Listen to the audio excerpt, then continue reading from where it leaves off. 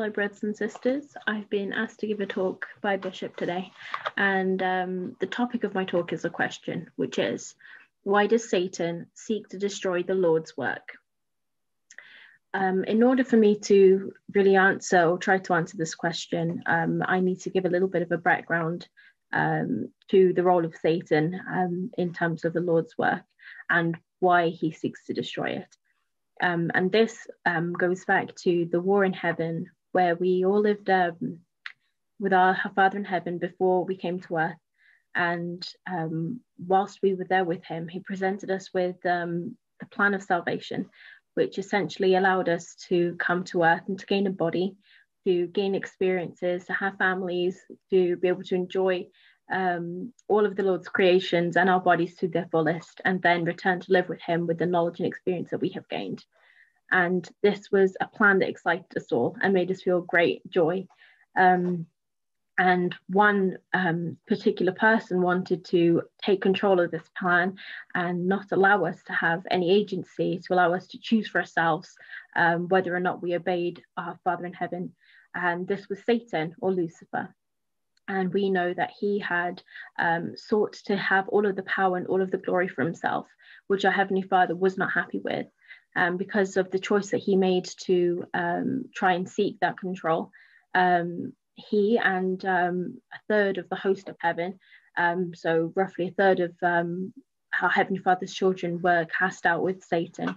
And because of this, they seek our misery and they seek our downfall in a lot of ways. So, in order to um, destroy the Lord's work, um, Satan tries to control us and tries to tempt us and to put things into our paths along life's way that make our lives difficult. So, why does he do this? So, we're in the um, war in heaven, we learn that Satan wanted to seek um, control, to gain control over the plan of salvation he wants us to have misery because we do have our bodies and because we are able to experience so many different wonderful things like joy and happiness and love and families and all of the wonderful things that come with being here on earth. Um, and because of all of those things that we do have the opportunity to have, he wants us to miss out and he wants us to be captive in um, all sorts of wicked ways. And so he um, tries to diminish or he tries to destroy some of the best experiences that mortality and that having a body um, offers us. Um, but however, even though these things sound sound quite dark and quite quite evil, um, we do learn in the scriptures that this was the Lord's plan. He wanted us to be able to experience good from evil. Um, without having that opposition, without having temptations, we wouldn't have the blessing of learning what it was to have the good things in our lives. I want to read some scriptures to you now, which are in um, 2nd Nephi, chapter 2. And the first verse is 16, and I'll also read verse 27. So, verse 16 says, Wherefore the Lord God gave unto man that he should act for himself. Wherefore man could not act for himself, save it should be that he was enticed by one or the other. Wherefore men are free according to the flesh and all things are given them which are expedient unto man. And they are free to choose liberty and eternal life through the great mediator of all men, or to choose captivity and death, according to the captivity and power of the devil. For he seeketh that all men might be miserable like unto himself.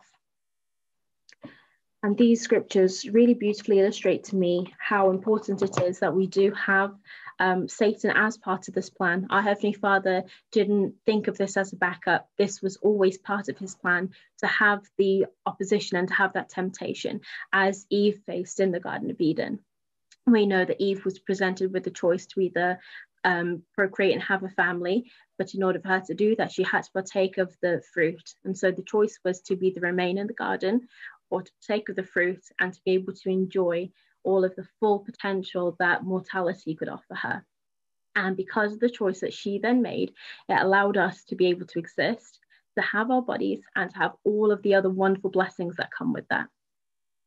So, talking about how Satan seeks to destroy the Lord's work, this can also have a really positive impact in our lives.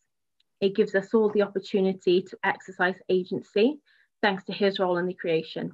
It also allows us to prove ourselves and to exercise our faith and to gain testimonies that help us to build the knowledge that we need to return to our Heavenly Father. It provides also a refiner's fire for our souls. So even though life has its many challenges that already come from, from being mortal beings, it also presents us with different temptations and different struggles that we will all face on a day-to-day basis. But these things are all there for our good. They allow us to be able to resist the temptation, to rely on the Lord, and to always remember that He is above all and He sees all and knows all. Um, this is um, a specific topic that reminded me a lot of our, our prophet Joseph Smith and the restoration of the church. Before he prayed in um, the sacred grove, he was facing a lot of um, confusion and he had a lot of issues with finding the right faith for him. And immediately before he prayed, he faced um, some very serious opposition and um, potential destruction from Satan and from his um, forces. And I wanted to share a, a, little quote with you from Spencer W. Kimball. Bear with me as I find that. And what Spencer W. Kimball was talking about was how um, how Satan felt so threatened by the marvelous work that Joseph Smith was going to undertake. And the quote is here. He says, When Joseph Smith knelt in solitude in that silent forest, his earnest prayer brought on a battle royale which threatened his destruction. For centuries, Lucifer, with unlimited dominion, had fettered men's minds. He could ill afford to lose his satanic hold. This threatened his unlimited dominion it reminds us that even within the account of the first vision, the powers of darkness had preceded the light. There had to be a struggle and there had to be um, a, level of temptation before um, the most wonderful and most glorious vision could could unfold. And it helps us to remember that um, the adversary is always aware of, of the great work that the Lord is trying to do, and he will seek to undermine it at every step it reminds me of um, the quote that Joseph Smith made in Joseph Smith History, where he says, It seems as though the adversary was aware from a young age that he was destined to prove a disturber and annoyer in his kingdom. That made me feel quite excited and quite thrilled at the idea that Joseph Smith was a disturber and an annoyer of Satan's kingdom and all that it stands for. And it made me think of what I could do or how I could become a disturber and an annoyer of Satan's kingdom too? In order to answer that question, I found an answer in Doctrine and Covenants, section 10, verse 5. And that verse reads Pray always that ye may come off conqueror, yea, that you may conquer Satan, and that you may escape the hands of Satan, sorry, that escape the hands of the servants of Satan that do uphold his work. And for me, that just um, testifies of how important it is that we pray, that we can use prayer as a powerful tool to help us to evade any temptations and overcome all the obstacles in our life.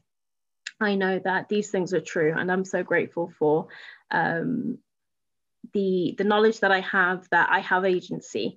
That as I choose to do what is right, and as I choose to follow um, our Savior's example, and as I strive every single day to repent and seek forgiveness for the times that I fall, and then strive to always try again and to partake of the sacrament, to renew my covenants, and to always commit to those promises I've made, that I will be able to overcome Satan and that I will try my very best to be an annoyer and a disturber of his kingdom. And I say these things in the name of Jesus Christ. Amen.